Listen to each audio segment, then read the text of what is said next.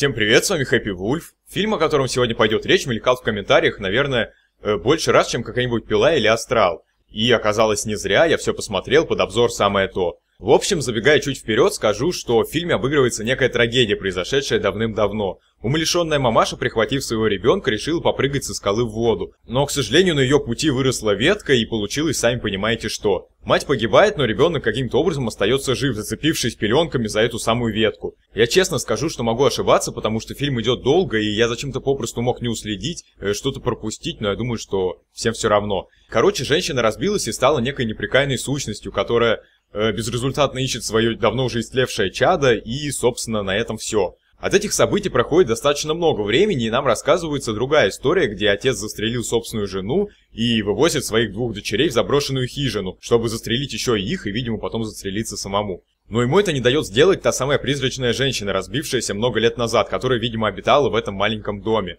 Две девочки остаются сиротами, и сами понимаете, что они бы умерли не то что там в первую зиму, а в первую же холодную ночь, так как дело было осенью, но все обыгрывается так, что эта вот демоническая хреновина начинает за ними ухаживать. Она отапливает помещение, приносит покушать вишенки, судя по всему, только вишенки она в течение пяти лет и приносила. И вот эту вот штуку девочки мама и называют. Но это еще, так сказать, начало. Далее одичавших девочек находят лесники, вызывают полицию и детей вытаскивают из полного дерьма, пытаясь адаптировать к социуму. Их забирает семья, которая является единственными родственниками, вот тут начинается весь замес фильма, где в доме вместе с девочками э, поселяется и страшная мамка из хижины.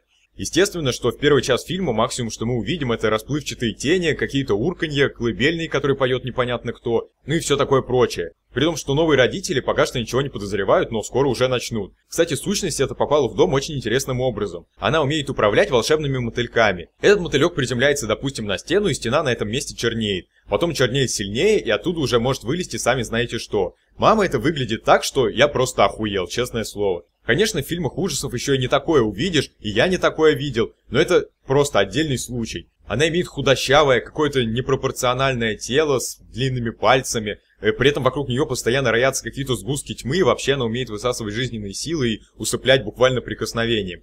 Передвигается она на протяжении фильма постоянно по-разному. Когда нужно выдержать момент, то она так плавненько-плавненько левитирует над землей. А когда нужно, чтобы зритель обосрался, она совершенно перекошенными рубленными движениями ползет навстречу камере, при этом по совершенно любой поверхности и траектории, как паук. А ее лицо, так это вообще красота неописуемая, которую не в каждых искателей могил увидишь. Оно достаточно сильно деформировано, так что если хотите полюбоваться, то откройте Google картинки. Ладно, короче говоря, после удочерения в фильме разыгрывается драма, где эта сущность ревнует и багетит из-за новых опекунов девочек, и естественно она не хочет просто так отступать.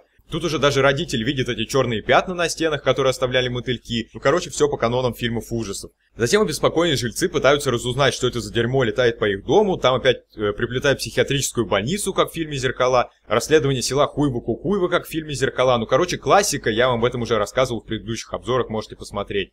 А вот уже под конец разыгрывается целый спектакль для обосравшегося зрителя, где нам пытаются преподнести тонкие душевные переживания э, призрачной матери.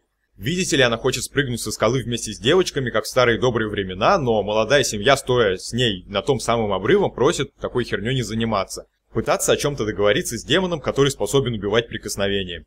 Господи, боже мой. Далее старшая дочка вроде как очухалась и такая, да ну нахуй мы же разобьемся, уходит к новым родителям, а вот маленькой девочке призрак, которого она называла мамой, полюбился, видимо, больше, и поэтому они в обнимку летят вниз. В воду опять об эту ветку, э, разбиваются и превращаются в мотыльков. Фильм закончился.